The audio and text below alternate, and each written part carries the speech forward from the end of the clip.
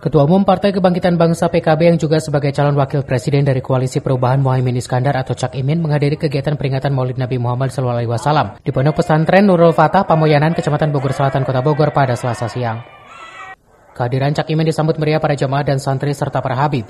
Selain memohon doa dan restu pencalonan dirinya, Cak Imin sempat menyampaikan bahwa dirinya bersama Anies Baswedan akan mendaftar ke Komisi Pemilihan Umum atau KPU pada 19 Oktober mendatang. Caimin juga menyambut bahwa seluruh persyaratan administrasi dipastikan sudah lengkap dan saat ini partainya bersama partai koalisi tengah menggodok terkait tim pemenangan yang akan bekerja nantinya. Ya, insya Allah saya sama Mas Anies dan partai-partai pengusung akan mendaftar tanggal 19 pagi. Semuanya sudah siap? Semua sudah, sudah siap, administrasi kita siap semua. Oke, timnas kapan diumumkan?